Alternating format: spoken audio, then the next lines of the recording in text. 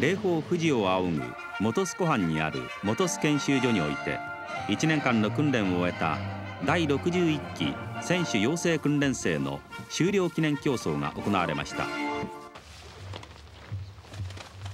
皆さんおはようございます。昨晩遅くまでお付き合いいただいてありがとうここでも来ていただいたらですね、えー、それだけ寿命をですね、えー、伸ばしていただかんと困りますから、えー、それで、えー、これから61期生が思う存分やります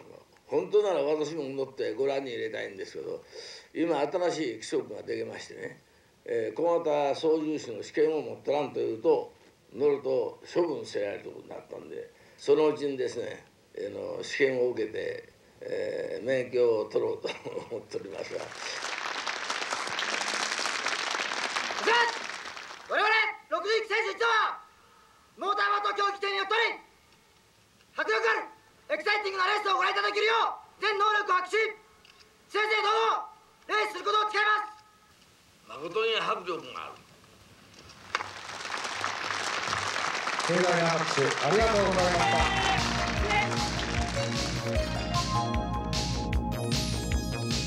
この終了記念競争は昨年10月に入所した第61期選手養成員が1年間の訓練成果を確認し訓練において練磨した技量の成果を関係各位に披露し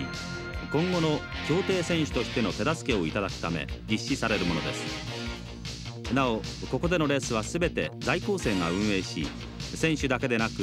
レース全般にわたって要請が行われています。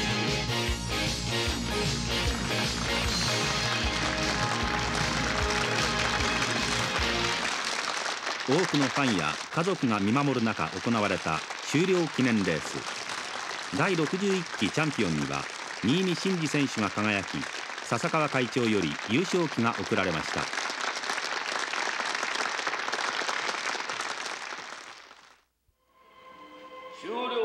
終了記念レースも済みいよいよ本栖研修所を後にする時が来た。振り返れば長いようで短い1年であった。しかしいろいろなことがたくさんあった。みんなについていけず一人泣いたこと。荷物をまとめて家に帰ろうと思ったこと。模擬レースに勝って嬉し涙を流したこと。今笹川会長から受けるこの終了証書に全てが凝縮されている。さあ明日からは立派な競艇選手だ。頑張ろう。明日のスターを夢見て。